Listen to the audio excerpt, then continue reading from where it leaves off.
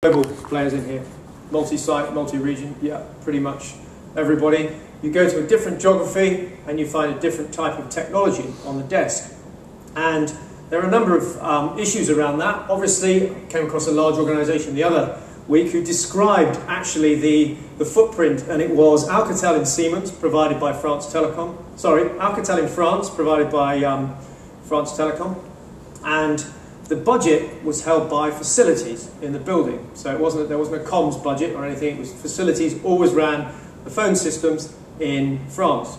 Germany, it was Siemens, and um, it was actually HR that had the budget in, um, in Germany, which was, which was unusual. And so on. You go around the globe, you find different technologies.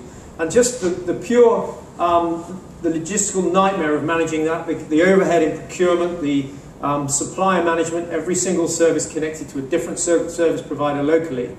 This is a huge challenge for our, um, for our customers. So they told me, and a quote from um, one, one CIO of a, of a big chemical com company said to me, give me global standards. I don't care if it's a low level at this point, I just want a consistent global experience. So we set off on it with a partnership between us and Cisco, which is sort of unprecedented in, in BT, and I think it was unprecedented in Cisco as well. Um, this is a joint venture between us and Cisco, providing the hosted solution. If one of, um, one of our salespeople came, came to see you, and one of the Cisco guys came to see you, they would be selling the same service. Okay, so this is, this is how we've, we've built um, this hosted communications service. It's focused very much on hitting the consistent voice experience across the globe. So providing a hosted voice service with a telephone handset on, on the desk, a, um, a voicemail service, and a self-service portal.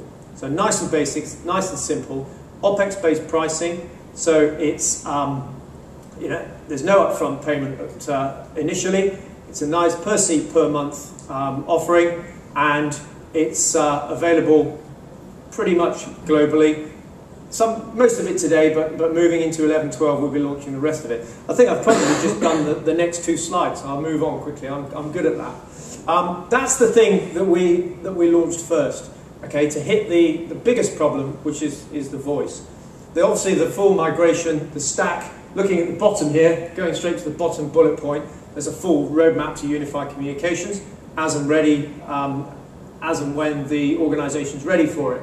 So starting at the top, it's voice as a service. So it's literally consumed from, from the cloud.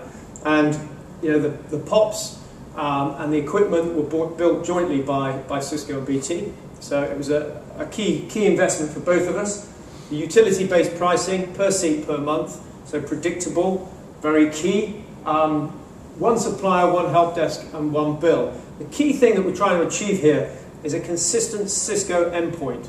And coming back to the Siemens and the Alcatels and the whatevers all around the world, if you, any of you travel globally, the first thing that happens when you get to an office, you find an alien piece of telephony.